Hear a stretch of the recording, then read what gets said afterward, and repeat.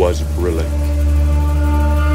and the slithy toves did gyre and gimble in the wabe.